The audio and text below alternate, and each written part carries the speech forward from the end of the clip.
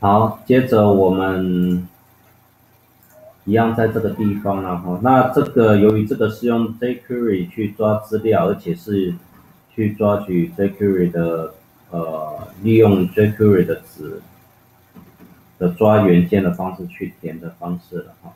但是最近呢，有发现一个东西还蛮不错的，叫做 Vue.js。那它一样有 CDN。那我们会用这个来做一些事情。嗯，找一下。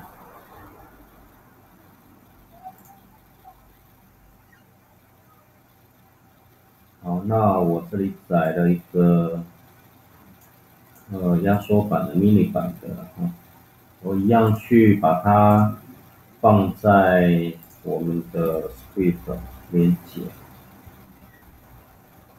来源就是刚才这个 CDN 的地方。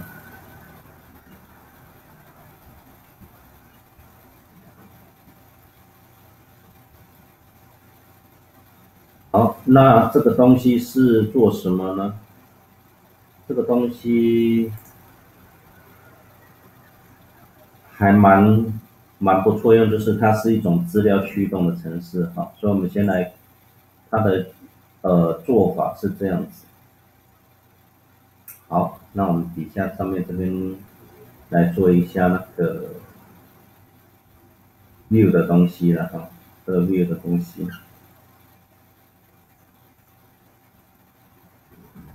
那这个我也是还在摸索当中的，那我们可以宣告一个叫 app 的变数给它，那它是 new 一个物件，叫做 U E。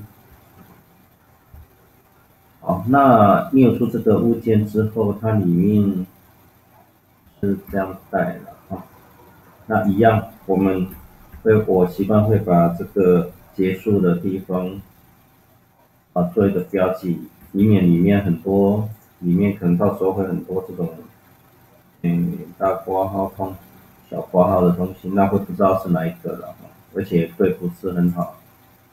那它里面主要是要有一个。就做元素的作用范围，叫 yellow。那 yellow 一样，它是选定，比如说我是选定这个作用范围叫 app 的地方，那所以这里就写 app。好，那它底下另外一个是，因为是资料驱动了，所以这边会有一个 data。那贝塔的方式呢，也是一样用大括号，也就是物件的方式去把它包起来。那它显示，比如说我要给它贝塔一个变数，叫做 bug，那它的值叫做不做使用，不做开始。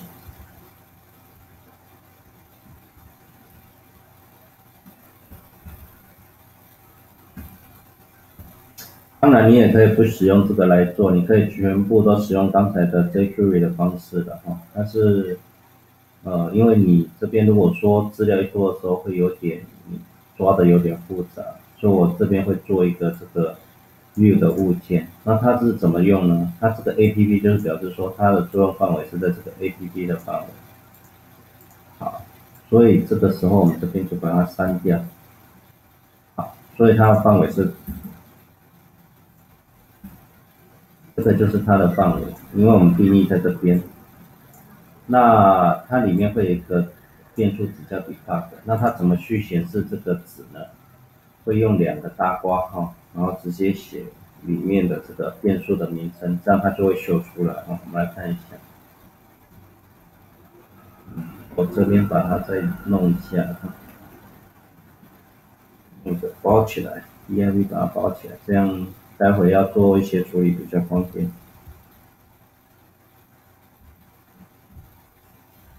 啊，我们这边给他写出错，不用写出错啊，这边就是这样，然后我们把这个移进去了。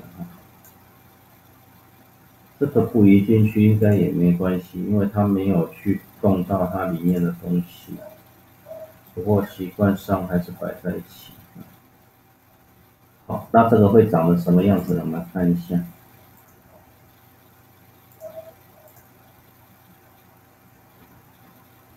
好，那就是这个是刚才的按钮没有错了哈。那这边会填入出错开始，就是说呢，它会在这个把它 debug 的这个值丢进去这里面，所以你只要去变动这个物件里面的这个值，它这里面就会跟着改变了哈。这待会我们要再做一个东西，这底下这个除错不用也没关系，但是我习惯上会先做一下，确定它抓回来的东西是不是有问题。那这里我们会说，这里我们要摆一个就是抓回来的资料，嗯，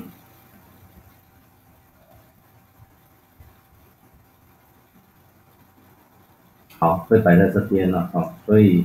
这边会摆一个叫做结果 result，所以我们这边要再多一个变数给它，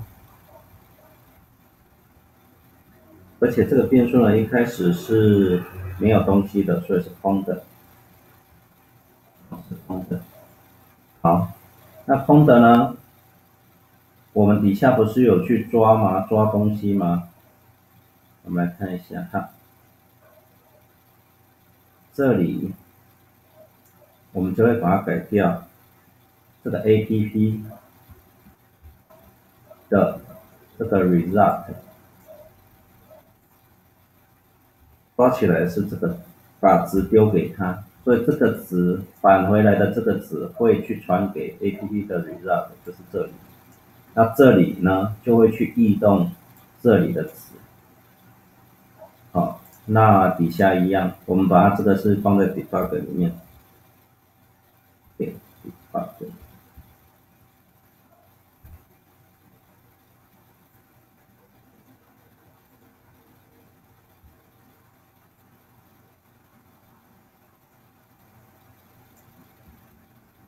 好，就是说错误呢，如果说错误的话，它就把这个错误的讯息抓出来，然后丢给 APP 的 debug，就是这里。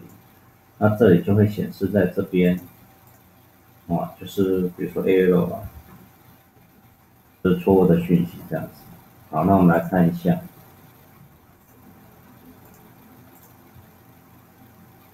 好，那除错开始，那一开始上面是没有东西的，那我们这个按下去以后，这里就会去抓取资料回来，然后它就会把资料抓回来，塞在这个地方。哦，这个是 view 这个东西，那我晚点都会用这个来来做这些的布局了哈。晚点可能会比较知道它的布局的方式的优缺点，哦，那大概是这样子。